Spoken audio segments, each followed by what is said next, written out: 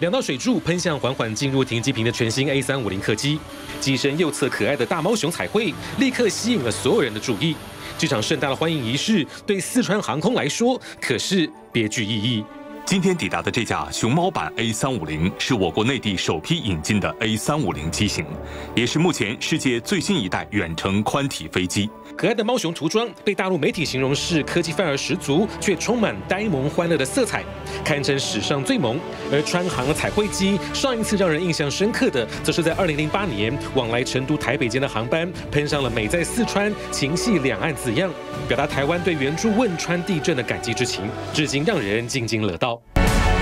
迎来新飞机，川航空服员也换上全新服装，在接机仪式上跳舞亮相。七分袖连衣裙，一身川航红与黑色搭配，展现专业、端庄与稳重，是四川航空创办以来第七代制服。从这一刻起，这抹川红将与大猫熊一同翱翔天际，也代表中国大陆规划的空中丝路正式上线。近年来，我国推出“熊猫之路”国际航线发展计划，国际航线已经通达亚洲、欧洲多个航点。四川航空总共十四架空中巴士 A 三五零订单，再加上现役十二架 A 三三零与一百二十三架 A 三二零，让川航已经是目前大陆拥有规模最大空中巴士机队的航空公司。而大陆与空中巴士的合作还不止于此，从二零零八年开始，总部设于法国的空中巴士，还将第一个欧洲以外的组装厂设在大陆天津，足以显见空中巴士对中国市场的重视。比如说像。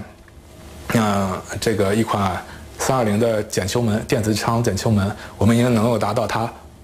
唯一供应商，也就是说，它把所有的生产都放到我们中国进行了，这就是他们对我们的信任。二零一七年，空中巴士又加大与中国大陆的合作，增加 A 三三零的喷涂与座椅安装工厂，并定下将在二零二零年交付大陆两千架客机的目标，将大陆市场份额要一举突破百分之五十。这让竞争对手美国波音公司开始出现危机感，特别是在中美贸易大战相对敏感的时刻，不论是空中巴士想要借此占领中国大陆市场，还是中国大陆刻意要与空中巴士拉近距离，都让这场航空界的市场争霸格外。引人注目。记者汪晨曦由仲佩综合报道。